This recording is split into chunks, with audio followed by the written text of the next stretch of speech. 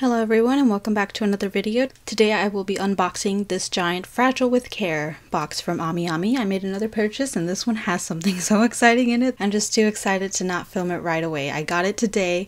This is being filmed the day I got it and I'm still jumping with joy. Anyway, let's get started. So starting with the first layer of the box, it comes with their typical card. I don't know if this is different than the last one I got, but it's very cute, very festive and here is their information on the back. AmiAmi is always a great store to buy Japanese figures and goods from. And here is the first thing that I see. It is another Yuri on Ice keychain. I only got Yuri this time because he's just so cute and he's my favorite. And here's what the keychain looks like. It's so cute. It's him um, having his shirt pulled by the keychain so it looks like that while it's hanging. And him holding katsudon, which is his favorite food. Oh, so cute. It's about I think one eighth in one eighth of an inch thick in acrylic. It's so cute. I love it.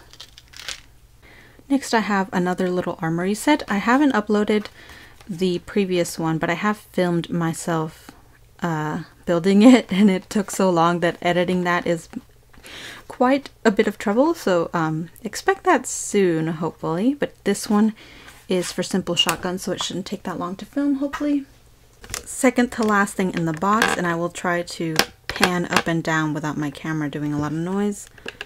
This is what I've been waiting for. Oh my gosh, I pre-ordered him as soon as I realized he was up for pre-order. This is the Azone, which is a popular brand that makes dolls. I think they make Dollfies. I know those are really popular, but this is one of their Asterisk Collection 1 6th scale dolls. He is number 8 America from Hetalia, the world twinkle, although I just call it Hetalia because it's the same thing. Oh my gosh, he is so cute.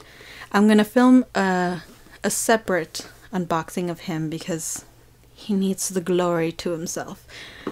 But here's just a quick look at the box. I'm so excited. This is my first doll ever and I'm really, really excited to make outfits for him and stuff. And here's the last thing in the box. It is another Re-Ment set, and I will film this one individually as well. I'm very excited. There's one thing left, I think, to arrive before I can finally make my diorama with my Samurai Nendoroids, and this is part of it, so I'm very excited to open this one.